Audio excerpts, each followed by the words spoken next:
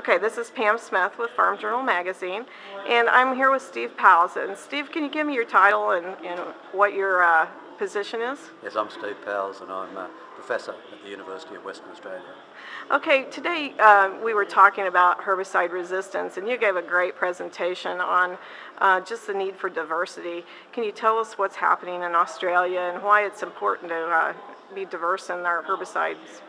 Yes, I think, well, uh, the comparison and the, the lesson for the US farmer is that uh, we've been there with herbicide resistance. We've, we've had a catastrophe because we don't have enough diversity in our agriculture and we developed herbicide resistant weeds over half a continent. And I think that's unfolding here. I don't think I know it's unfolding here in the US with this massive over-reliance on the great technology of Roundup Ready crops and, and just the massive use of glyphosate. Just too much of a good thing. And you, you also talked about uh, you, farm as well, and that uh, just the monoculture that we have is contributing also, right?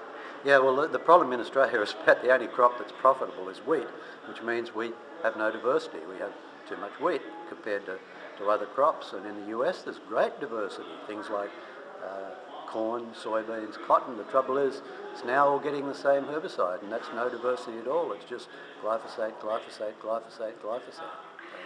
So farmers, uh, especially in the Midwest, seem to be reluctant to uh, acknowledge that because glyphosate is, uh, or Roundup Ready is an easy system and it's convenient. Uh, what would you say to them?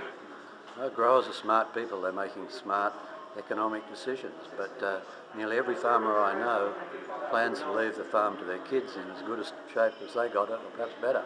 And uh, so they're interested in sustainability. And glyphosate, if you keep using it, it's going to fail due to resistance, no question about it. All right, thanks, Steve.